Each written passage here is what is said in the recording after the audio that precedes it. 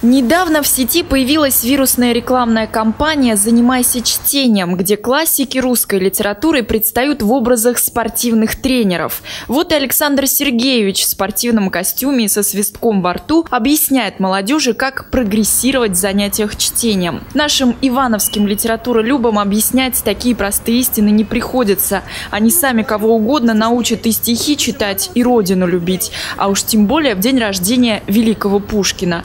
Они решили выложить всего Александра Сергеевича на землю, чтобы его было лучше видно. Мы приклеили к асфальту его книги из собрания сочинений. Все это мы делаем для того, чтобы, с одной стороны, отпраздновать э, День Пушкина, а с другой стороны, показать наше отношение к его наследию. А отношение самое хорошее. Почему еще приклеивать? Чтобы это было, выглядело очень интересно со стороны.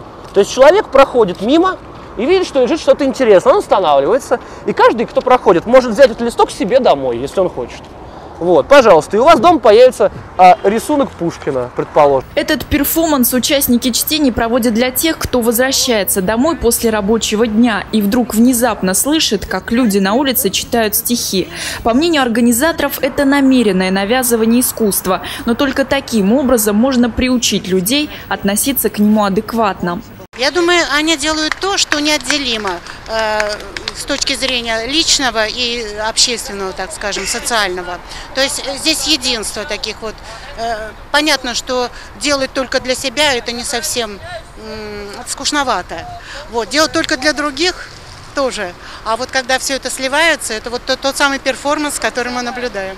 Сами участники настаивают на том, что подобные занятия чтением должны проходить регулярно. Мне кажется, это надо делать. У нас много прекрасных поэтов, не только Пушкин. С таким же успехом может собираться день рождения Лермонтова, Некрасова, там, Есенина, Маяковского. И читать, и это будет просто прекрасно. Это мы наших великих соотечественников почитаем память. Это очень здорово. Благодаря этому мероприятию выяснилось, что прохожие в городе Иваново могут оказаться неожиданно талантливыми, у которых свои ассоциации с подобными перформансами. Я когда был это в школе учился, у нас это самодеятельный кружок был. Вот. И очень сильный цирк был. Нас даже послали на гастроли в город Лондон. Да, у нас большая, большая была эта труппа, большая труппа была. Мы поехали, мы там где-то месяц работали в Лондоне. Многие участники и зрители чтений стихов отмечали, что Пушкина просто нельзя не любить. Его читали и продолжают читать. Ну что значит нравится, не нравится? Мне кажется, он не может не нравиться. Но это что-то такое, что практически с молоком матери у нас есть. Памятник нерукотворный Александр Сергеевич Пушкин воздвиг себе еще около двух веков назад. Но, к сожалению, немногие потомки могут похвастаться наличием в своем городе памятника настоящему русскому поэту. В нашем городе есть центральная площадь имени Пушкина. Здесь по красной ковровой дорожке часто проходятся именитые гости. Одинокий камешек с именем великого русского поэта стоит в стороне, зарастающий народной тропой.